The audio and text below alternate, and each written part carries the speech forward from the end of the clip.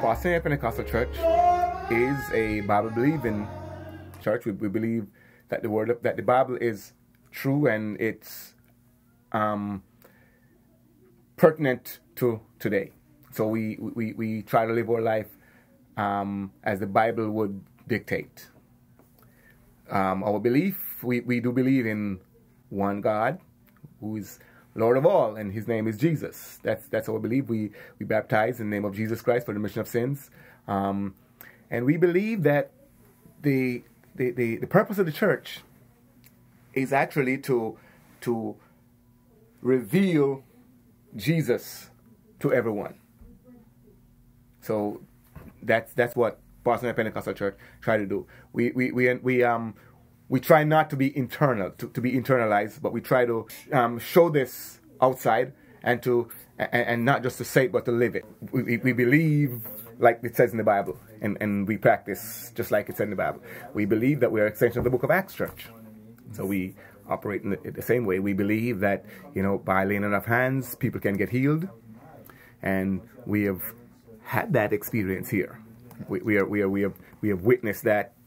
We have witnessed miraculous healing. Pentecostals, they they speak in tongues, um, which is an unknown tongue to them, to the person speaking. That's how they got it in the in, in the book of Acts when the Holy Ghost came out, as the Bible says, as the Holy Ghost gave utterance. And we know we we know that that still happens because it happened to us. Sometimes it, it's it's a heavenly language that nobody on earth knows, but there are times when it's actually spoken language.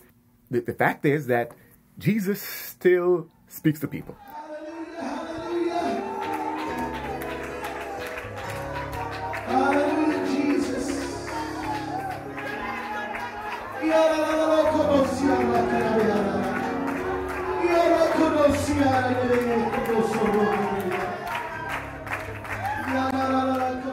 We believe in singing and and, and, and expressive worship like in in the in, in the Bible where you know it, it talks about David dancing before the, the, the ark.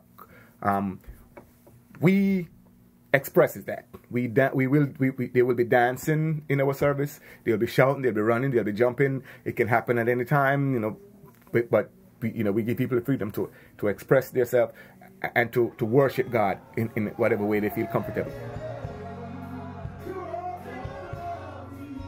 Jesus said he must be born again of water and of spirit.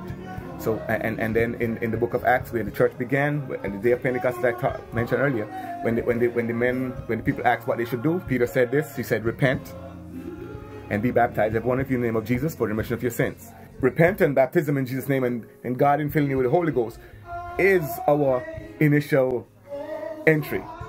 We equate our our our bap repentance, baptism, and receiving of the Holy Ghost to to um, Jesus Christ, death, burial, and resurrection. So um, our our repentance is his death. It's a it's a death it's a death to ourselves where we where we um we we I would say die to our personal desires. The name of the Father is Jesus, the name of the Son is Jesus, the name of the Holy Ghost is Jesus, because we believe that they're not three, mm-hmm. but just one person. We don't believe in the Trinity. We believe that there is one God and that He's not a Trinity, but He's one. And that the same one God is the Father and He is the Son and He is the Holy Ghost. It's just different offices that He that, that He is this, this different ways that He displayed Himself to us. We, we believe that all life is precious and that, that um, life begins at conception. That being the case, we are anti-abortion. We don't believe in killing the the um, unborn. Um, we believe that all things work together for good.